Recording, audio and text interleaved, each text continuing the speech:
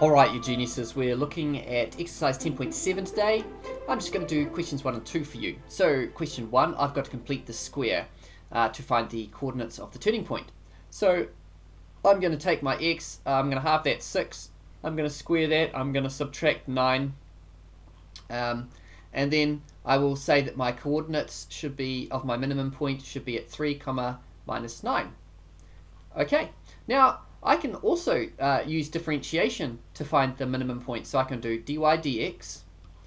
Um, in this case, it's going to be 2x minus 6. And I can say that uh, the minimum point has a gradient of 0, right? Um, so a minimum point looks like this. And the gradient at that point is 0 because uh, there's no change in y. So I'm going to go 2x minus 6 equals 0.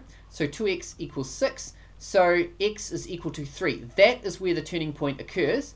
And to find my y value, I chuck that 3 into the original curve equation, this one here. So 3 squared minus 6 times 3. Um, now that's no, uh, 9 take away um, 18, which is negative 9. So 3 comma minus 9. Now in this case, completing the square is obviously the quicker method um, because we got it in one, essentially two steps really. Um, but that's not always going to be the case. So it's good to know both methods. Now we're looking at the second uh, question here. And we've got this diagram and we want to find the coordinates of the minimum maximum points. So first of all we're going to go dy dx. We're going to drop the power down so it's going to become 3x squared plus we take this coefficient multiply it by that power so it's going to be 6x and then the last one is going to be minus 45 because the power is 1. 1 times minus 45 is minus 45. Now, uh, we know that the these have a gradient of 0, both of them. So we're going to set this equation equal to 0. Now I hope you can see that we can divide everything by 3 there. Like so. Um, now, let's see. Uh, numbers that multiply to make minus 15, that add to make positive 2. Looks like we can factorize this, I think.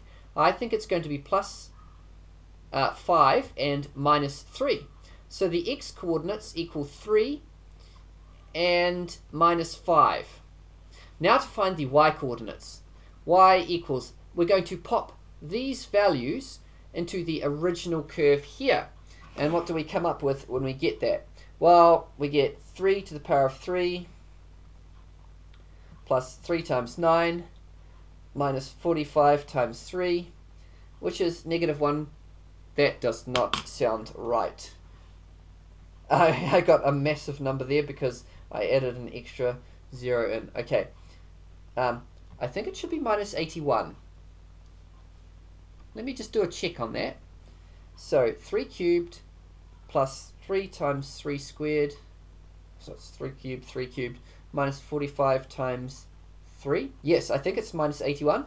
And then the other value is if we chuck in the minus 5. So we get minus 5, uh, so that'd be minus 125, plus 3 times 25, minus 45 times negative 5. And I'm getting 175 there. So, if I'm correct, I hope I am, um, this one here is at 3 comma minus 81 because those two pair. And the other one uh, is at minus 5, 175. This is minus 5 comma 175. Alright, well I hope that's helpful to you all. Let me know if you're having any difficulties with these. I'm totally happy to help. Uh, just let me know on ThinkWave. Take care.